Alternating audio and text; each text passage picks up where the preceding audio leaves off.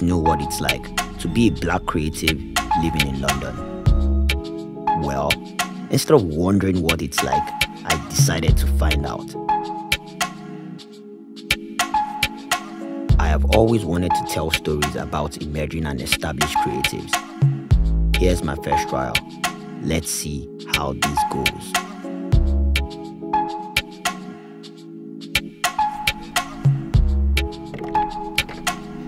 Hey! What's good, Ayo? It's good to see you. How's it going, my bro? Uh, Our phone as well. man. So finally, we are here. We're here. We're here at your space. Welcome to my humble abode. It's humble indeed.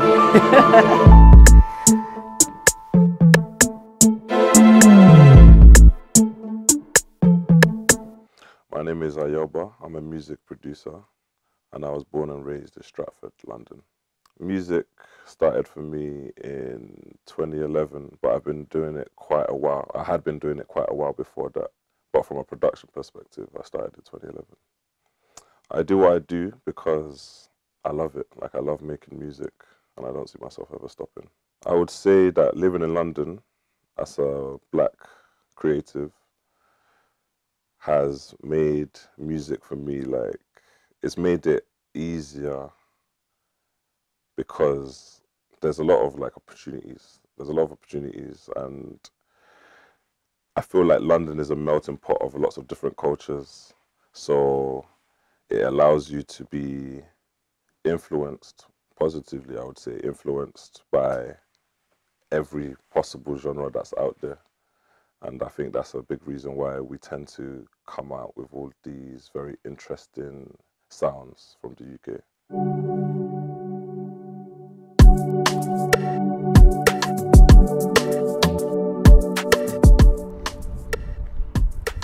Hmm, amazing conversation so far. So the quest and the search for knowledge continues on what it's like to be a black creative living in London. Let's see what this next person has for us.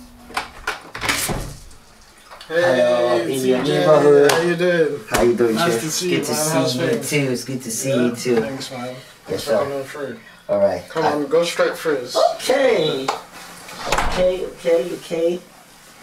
How's it been going with you, sir? Yeah, not bad. You know, work, work, work, work. Alright, nice deco, man. I love what you're doing with the colors. I love it. You. Really, really love it.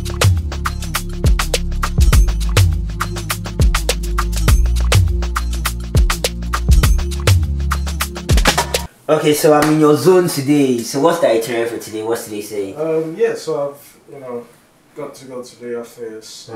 um, sort out some business stuff. We obviously had an event on Friday with uh, Oh, yeah? University of Greenwich. Ah, Um, nice. So obviously had to show off some emails. As you can see, my laptop is there. Busy day, yeah? So, yeah. Can I come with you? Yeah, yeah. Let's, Ah, let's that would be really cool, Let's man. Let's let's do it.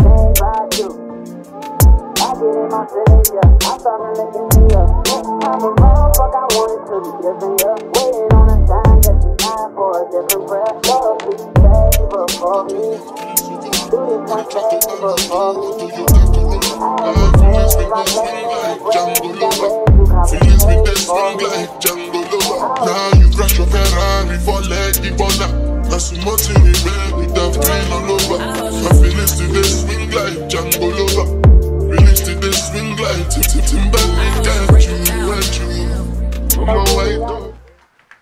Okay. Yeah, so Wow. this is Tribe Urban. Um, this is obviously our headquarters. This is our reception lounge area. Um, we actually built this place from scratch. Like it was an empty shell when we moved in. So we actually had to put all these walls that you see, all the colors, everything. We actually did everything from scratch. So we went down to the, you know, minute detailing of how the decor would look. So the colors actually that you see Yeah. are our brand colors, which is seen on the logo at the end of the wall. Um, so obviously, Tribe Urban Entertainment is a mixture of basically three businesses in one. Tribe Urban Studios, which is obviously the studio spaces that we have. Tribe Urban Radio, which you will see later on upstairs, and Tribe Urban Entertainment, which is meant to house everything to do with entertainment and the back end of entertainment. So you're talking about PR, marketing, all that kind of stuff. Those are the kind of things that we're trying to do here at Tribe Urban, Wow. So this is the HQ. This is where the magic happens. basically. Look at that. The culture. I We are the culture. That's that's our that's our Culture. slogan. Love it. So show me around. Let me see. I'm excited already. Tribe Urban Entertainment. Let's yeah, go. come on, let's go. Um, I'm gonna start you off at our music studio. Wow. The light. Yeah. Love it. Love it. Love it. Love it. Originally, when we moved in here, it was it was slightly different. We had a booth, but a lot of the artists wanted it to be more open plan with just a booth in a corner, Oh. um, which is what we've done. So we've had a lot of like artists here. We have like Shaybo, Spinall, Giggs, um, Suspect, Nadia Rose, Oxlade, Camido. So These are all talking about- yeah? This is what I'm saying. So like Love I said, um, the vision has always been to create a space that would enhance and help black people and minorities that are disadvantaged, especially within the UK, to have access to high quality, um, you know, studios at, at an affordable price. But also beyond that, obviously, we create part- partnerships with institutions as well, like University of Greenwich, which you, you may have heard of. Um, and we're, you know, we're five years old in June, um, 2023. So we've we've actually pushed a lot from where we started. We've taken a lot of risks. The pandemic has been a challenge, I you know. So, but And yeah, you're still here. And, And we're still, winning. here, and we're still love here, it. and Love it. Love it. Love it. Next up is the chat zone. This is where we usually conduct our interviews when we're interviewing new members of the team. Um, but also, this place is used by other staff members when they want to have like private conversations because it's kind of secluded away from the reception area. True. Love it. Love it. Okay. And then I'm going to take you guys upstairs. Let's go.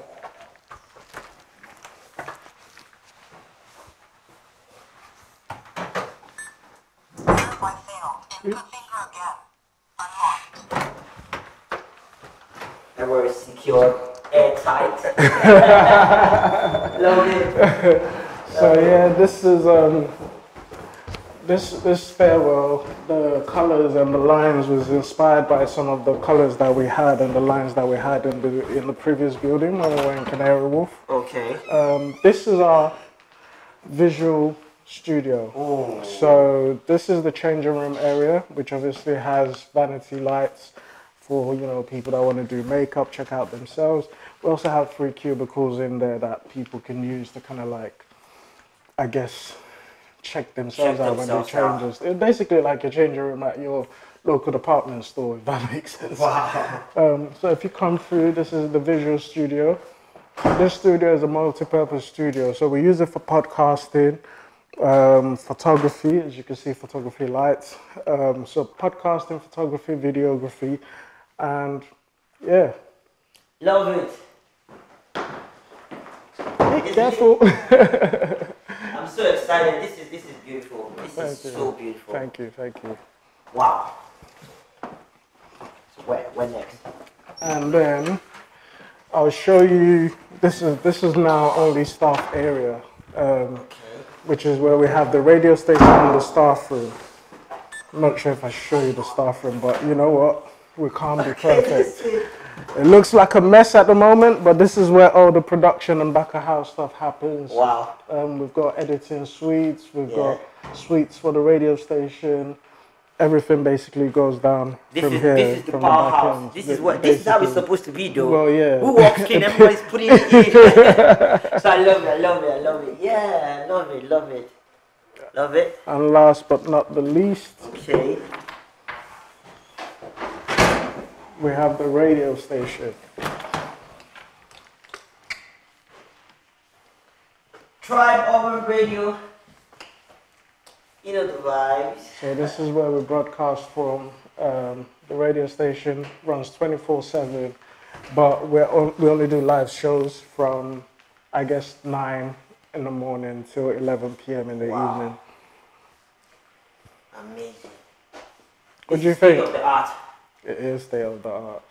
I mean, we uh, are, I'd say probably confidently that we're the only black station in the UK that has facilities, radio station wise anyway, that's at this level. I, I don't know of any other black station in the UK. We're all self, self-funded and, you know,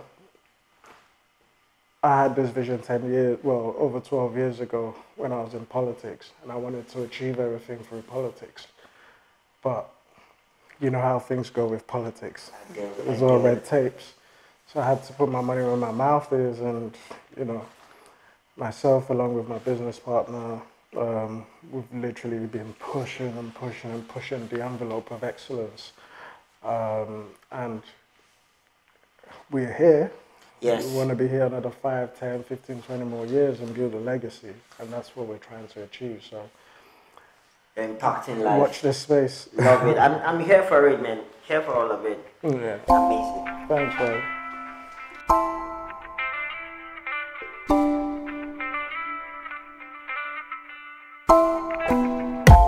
Yeah, my name is Michael Bullion.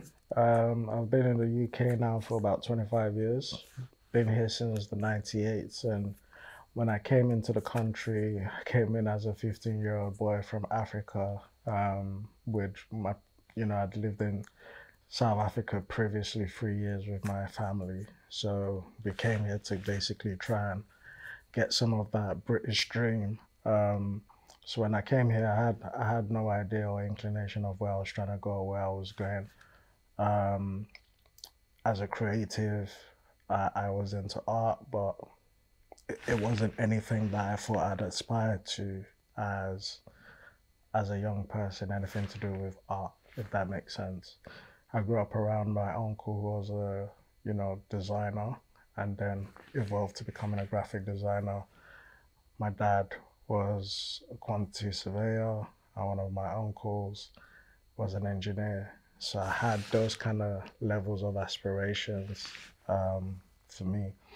But obviously having studied here in London, um, I then went to college in Essex and then I went to university in Greenwich, University of Greenwich in London. Um, and that was pretty much my educational life circle journey. Um, and I guess things really only start to form in terms of vision for me anyway when I was kind of like in uni. I started thinking about what direction I want to take my life and stuff like that. Tribe Urban is a company that I established five years ago. Um, started in June 2018, and I remember when we started, um, one of the first things that I was very big on was basically creating a corporate governance for the organization because for me, there needed to be rules and regulations set within the business of how we were planning to operate. Um, I find that a lot of black companies tend to not do that, and often when challenges or issues or problems come up, it's almost like they are trying to battle it. Initially, we started in Canary Wharf, and then we moved into this facility um, in 2020, just before the pandemic. So you can imagine how crazy that experience would have been. When we moved in here, this place was an empty shell, and you know we had to source out architects, builders, and all that kind of stuff. And building through the pandemic in itself was a very, very big challenge. However, um, one thing has always been vivid when it comes to Tribe Urban the brand, what it stands for, what its purpose is within the black minority community has always been something that we've aspired to champion. One of the things that was clear for me was, you know, having a vision like this 12 years ago where I was in politics and I wanted to achieve this through politics. Um, and then I then got dismayed by achieving it in politics because there was so much red tape. So I had to step away and, you know, obviously having met new friends along the road, um, saved some money together and we started what is now something that is beginning to have a tangible space in the media and entertainment space in the UK. Living as a black man in London, I will say that it's helped my creative journey. Um, but the reality is, hindsight is a beautiful thing because you never know what it'd be like elsewhere. You only know what the you only know the reality that you're actually living. Does that make sense? So for me, I've I've always felt like the UK. I wouldn't say necessarily supported my growth within the industry, but I think the continuous desire to want to do things differently and want to be a force for change um, has always been the underpinning driving force for me within the UK industry. Well, when it comes to entertainment media um, industry, I remember um, when I graduated from University of Greenwich, I actually studied estate management. And when I graduated, I went for about 18 months looking for a job, having been a graduate. And it was very, very shocking for me that in those 18 months, I could not find a job within property, anything to do with property, managing estates, anything like that. Couldn't find a job. Um, and I got frustrated after a while. So my aunt in Australia said, "Oh, why don't you come to Australia? It's booming, you know, economically, it's doing well." So I packed my bag, fly off to Australia, and I'm in Australia for about 11 months. I got all my certificates for mining, but guess what? There was just one day I was told to do something, just one day. Um, I was basically working on a construction site. So the guy, the team lead, asked me to go clear some like land to the side. So I've gone over there now, and I'm just trying to check the terrain before I move the truck over. And I just see like a snake going past, and I'm like, "Yo, that's it. I'm out." Those 18 months where I struggled to find a job, I actually became a self taught graphic designer and video editor. And sometimes I'll do jobs as a freelancer via the internet, just sending back and forth. So when I was living in Australia, even though the time difference was like eight, nine hours, I was always kind of like living on UK time in the in, in Australia, if that makes sense, just to be able to keep in touch with clients. And when I came back from Australia, I remember like maybe maybe about four months in, um, I used to work with a guy who, um, along with some other friends, came up with one of the biggest Afrobeats concerts at the time, called Africa Unplugged, and for me, um, you know, it was sold to me, it would be groundbreaking, and, and at that point in time, this was in 2012. No one was doing anything like that. Um, and guess what? It was going to be done at the Wembley Arena. So, as black people within the culture, we'd always struggle to get uh, venues. And that was the first time, as far as I can remember, that especially black Africans were given like a big venue to, to have an event. So, I did all the flyers, all the marketing, everything, website, um, even the production on the day in, in, in the arena. And I think that whole project took me about three, four months. But guess what? I'd gone from someone that had been very hopeless to someone that literally made about 12 grand in the space of three months. Uh, um, and I think when that happened was when the pin dropped for me that, look, like there is money in this. But if you can find a way to kind of like niche and continuously evolve yourself and your skills and your talent, and I guess from there, the, the rest is history. Because if I had to sit here and tell you the full story, it would be here forever.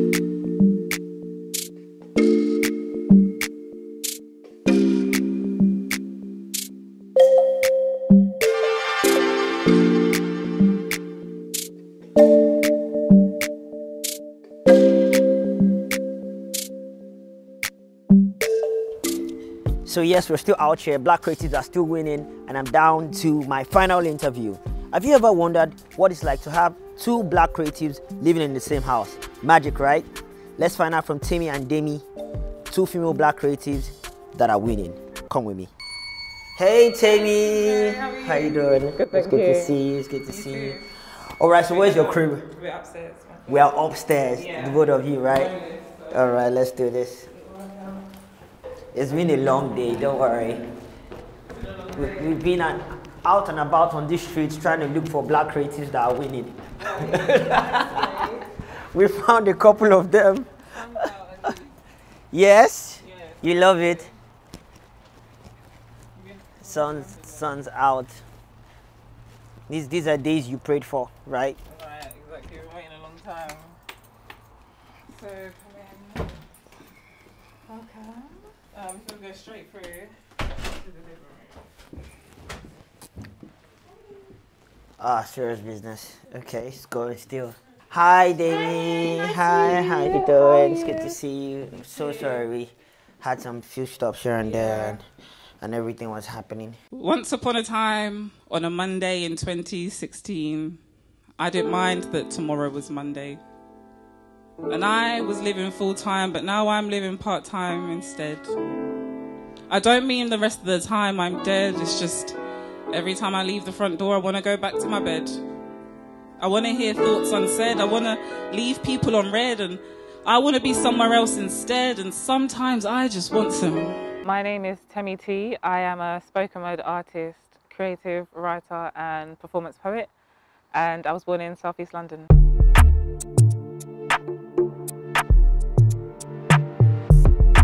My name is Demi Munis. I'm a fashion designer and I was born in Southeast London. Altogether, uh, it's been about four years. I first started writing when I was about 16, and then I didn't really do anything with it.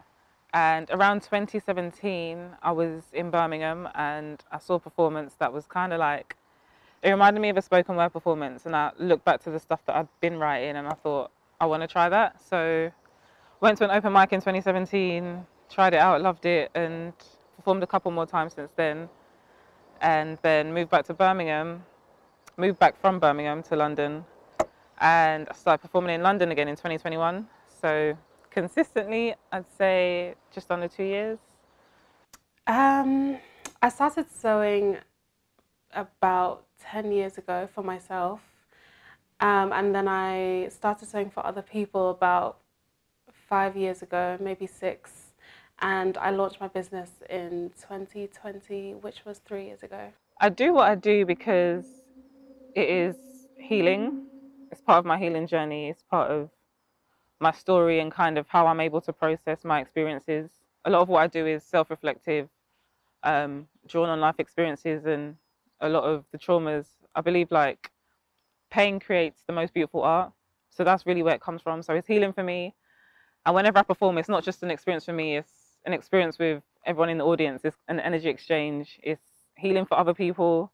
So um, I do it for healing. I do what I do because I feel like there is a gap in the market for custom fit clothes, um, pieces that just make that just fit your body perfectly and make you feel like you've invested in something that is just yours. No one has it. It's a special piece to you, and it makes you feel sexy, confident, and is flattering and practical at the same time. For me, living in London as a black woman, it's personally aided my journey. That's part of my identity, and my writing is about my identity and authenticity. So that's where it comes from. I understand that in the creative industry, there is colorism that does exist. Um, whether I've personally experienced it or even paid attention to it, I would say no. I kind of just focus on what it is that makes me me, and being a black woman is my identity for writing. It's my driving force behind writing, so it, it aids me in that way. Living in London as a black woman has, I think I would say that it sparked my creative journey because being around people that do what I do and seeing how the community just embraces them. And ever since COVID specifically, it feels like there's a there's a lot bigger of a platform for small boutique black owned brands to thrive. So I think being surrounded by people that have found success in this career path and um, have just been so loved and welcomed by the community and have built a real family around their businesses. That's really encouraged me to make me feel like I can do the same thing. And there are definitely people out there that are looking for what I'm giving. So I think it's really helped my journey so far.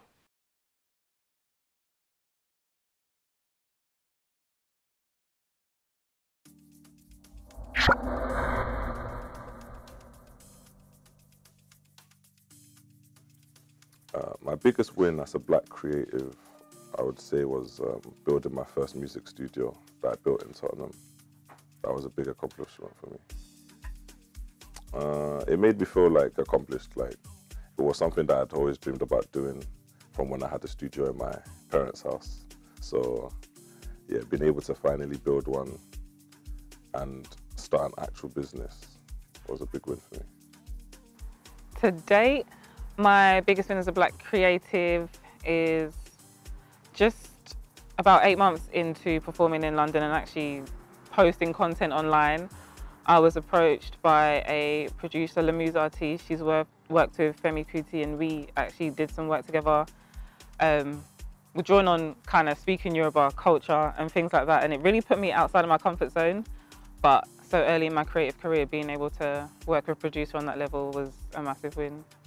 My biggest win as a black creative, I think just being, like I was saying, like just being embraced and working with people in fashion, not just in fashion, but also outside of fashion, that have collaborated with me has made me like just reaffirm the fact that what I'm doing is needed, is sought after.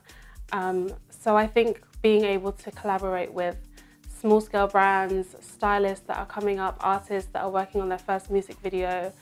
Um, yeah, just the collaboration and the partnerships that I've been able to, and those relationships I've been able to develop since first starting out.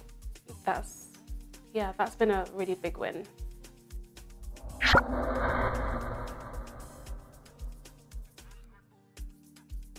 Inclusion. So it's a very interesting question you asked there because um, part of the things I did when I came back from Australia was I became chair of trust, which is um, which was at the time the biggest uh, voluntary sector organization that dealt with black and minority related issues in in Essex. Um, and I was the chair of that organization. I had about four councillors on the on the board, as well as eight other community members. Um, and one of the things I really learned was that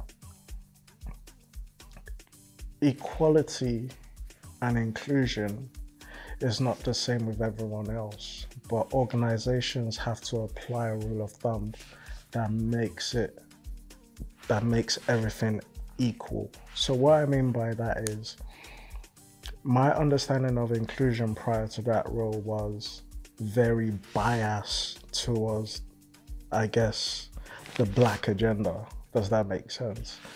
But in that role I actually realized that you don't have to be black to not feel included and stuff. You could be disabled.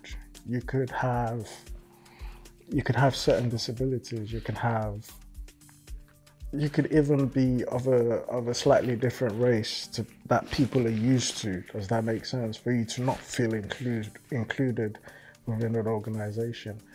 Inclusivity for me, which is one thing we're big on at Tribe Urban, is basically opening the doors to everyone and anyone and giving them an opportunity to actually get out of the company or the space what they envision they want to get out of it. But the most important thing, things to make this achievable is value, respect, and I guess I'll say um,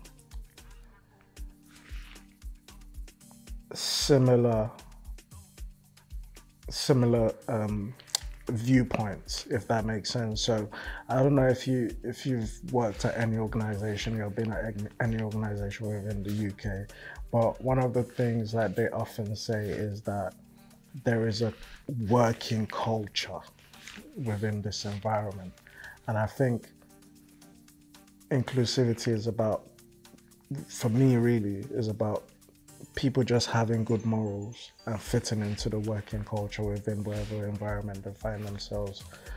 So um, yeah, As a creative, inclusion to me means making space for all types of art.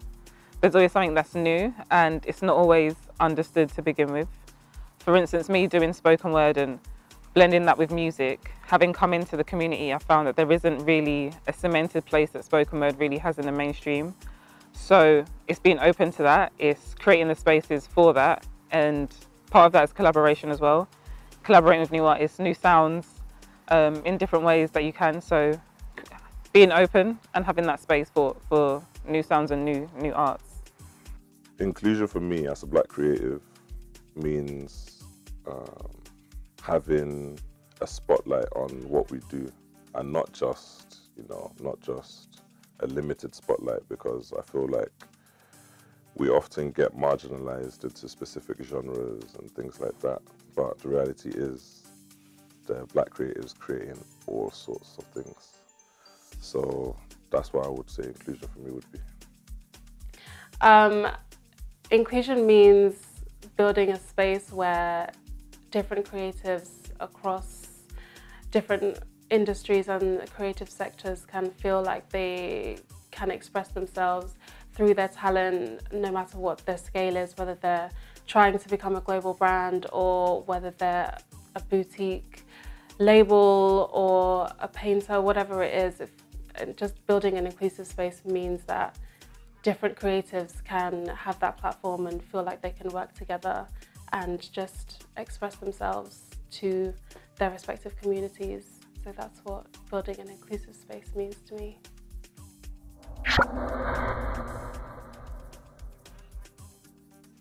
I think the black community is, black creatives are well represented in London to a certain extent because looking at how far we've come just as a community, we have a lot more platforms where we can express ourselves. Um, even looking at media outlets, like the way they're they're embracing and working with Black creatives, it feels like we definitely are a lot more present and a lot more seen in the industry. But um, of course, it's all part of a journey. So I think ultimately we're not quite where we want to be, but we're making huge progress at the same time. Personally, I don't think that the black community is represented well enough in the in the UK in London, and the reason I say that is because I do feel like, for the most part, we do get marginalized. Um, specific genres are pushed, and specific stereotypes, when in reality we're much more diverse than drill, for example. Um, I don't want to single out the drill community, but like, I feel like black women in our community get hypersexualized, and black men are sort of only promoted if they're promoting a specific type of lifestyle. R&B music, for example, there's so many. It's so like multifaceted, but it's almost like you have to go to America if you want to get any sort of any sort of traction.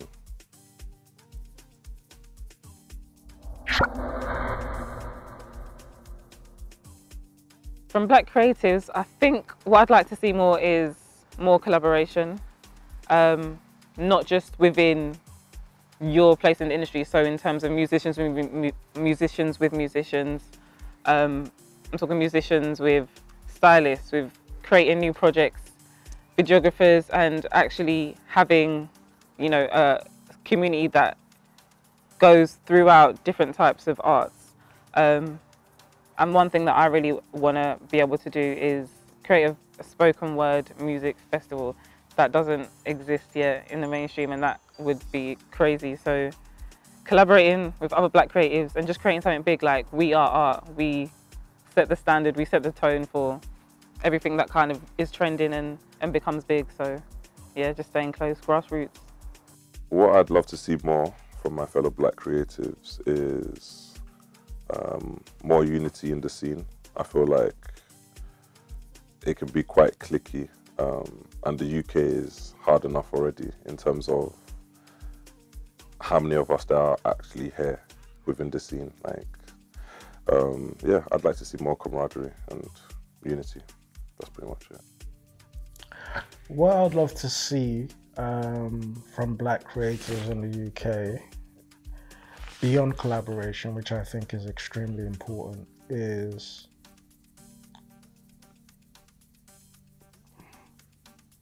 I think there are two things. I think one is unity. Collaboration can happen without unity, but unity cannot happen without collaboration. I don't know if that makes sense. Um, I feel like a lot of black people in the UK are very cliquey. Um, they can be very divided, and they can also go against one another in terms of growth.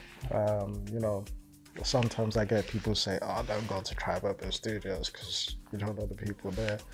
I'm like, it doesn't really make a difference to me. I, I have to play my part in rising above those nuances, if you get what I'm trying to say. Um, unity is a big thing, and I think sharing resources is also very important. I have a lot of friends in the States, and my God, like, if I call someone in the States and say to them, Oh, I'm trying to do X, Y, and Z, do you know anyone? If that person knows someone, they're, oh yeah, yeah, I'll put you in touch. Like they're ready to give you the number straight away. They're ready to connect you straight away. In the UK, hmm, what's it? What's my man trying to do? Like, what's do you get what I'm saying? Like, was his angle? Let me understand it. Like you don't really have to understand everyone's angle because just because you have accessibility today doesn't mean you're going to have it tomorrow. And just because you're big today doesn't mean you're going to be big tomorrow. And one thing I've always been conscious of, of letting people around me know is the biggest thing anyone can ever do to, the biggest disservice or disjustice any black person can do to other black people or even minority ethnic people is underestimate the other person because you just you actually just don't know where anyone is going to end up in life and that's just the reality. And i think if everyone were a bit more humble i think the uk black minority entertainment scene would would be massive. You think about it like we don't we don't have any mainstream media outlets. We don't. But yet we are the center of focus when it comes to media entertainment growth in the UK. Any reason why? Anyone answer that question? So yeah, that that's what I would like to see more in the UK. What I would love to see more from black creatives is um, more partnerships, more collaborations, more bigger, maybe more like bigger and more established brands and artists working with smaller up and coming artists and creatives and boutique labels that are looking for the platform, I guess, to really show their work. So collaboration on a bigger scale, not just up and coming creatives working together, but also the more established creatives working with rising talent and also just more black owned media platforms that really champion black work and black art. For example, Guap like that was just an iconic moment in black in like black British history. So more moments like that, I think, would be epic, and I think it's it's en route. So it's exciting times. Wow. What a day. So my quest has finally come to an end. You've heard their stories, you've seen the range in the conversations they've had, you've seen how they've been able to create impact and how they've been able to do their best as black creatives. For me, winning is very subjective. Whether you're on the high or on the low, it's up to you. to know whether you're winning or not. I had fun. I hope you did too. See you in the next one. Remember, black creatives are still winning. Hi, I'm Michael Bullion. I'm a black creative and I'm winning. My name is Demi Munis. I'm a black creative and I am winning.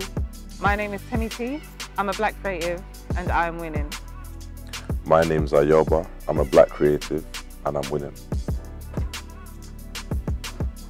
My name is Teejay Ameen. I'm a black creative and I'm winning. Their stories and wins are very unique. Big or small, they are all wins. And to the aspiring black creatives watching this, your dreams are valid. Go out there and win.